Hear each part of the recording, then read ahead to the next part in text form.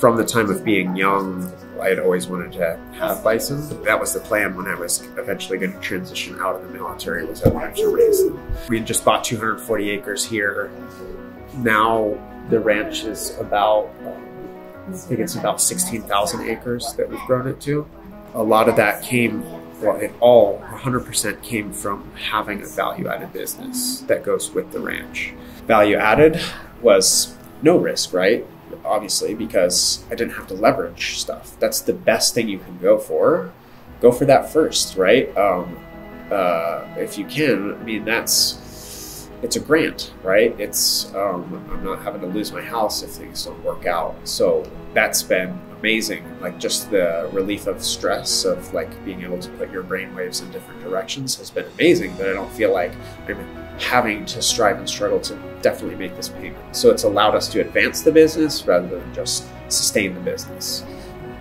Any our ability to to grow and any success came from Brittany and her knowledge, ability to build value-added products, know how to market them, segment an audience, and, and target them with products that they want. She absolutely was like as soon as we said you need to include um, a certain thing because they'll they'll look for this in scoring, and she she's on it. Yeah, yeah, yep. revise it, and they did look at that stuff in scoring, and it scored well. You know, it was tough to get because. Um, unfortunately, that's just the way that program was built. But it's like if you want to, you know, I'm just speaking in big, broad numbers, but like you want to get a million dollars, you got a half a million dollars. And not everybody, when you're starting a business or have a business or you're establishing a business, has cash like that. You know, your cash flows for any small business usually are pretty slim, you know, and some businesses are more slim than others. Ranching and food is like the slimmest of them all, right? You know, so we had to find a way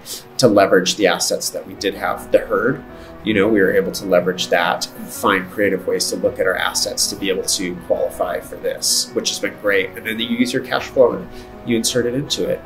That was that worked for us. That was good. So I think just like looking at that with a creative eye, I mean, everybody's situation is different was what helped us get into there. I mean, obviously your guys' help, I mean, was instrumental. I mean, don't do it on your own.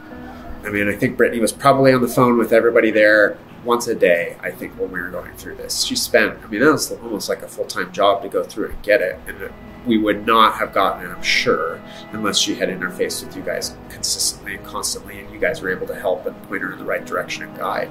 We started with just the jerky. Um, and so we came out, we rebranded, rebuilt the brand.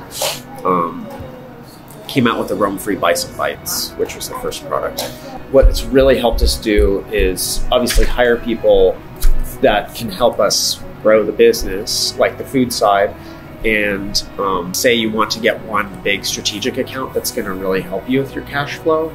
This is the grant that helped us get in and punch through that. This this program is what the idea of the government is supposed to be. There, there are people that are there to help you to advance certain sectors of business that are important for us, right? This is feeding our country. This is food security. This is making sure that everybody in our nation is continuing to be fed from products that we're producing right here at home and not depending on everything else on the outside.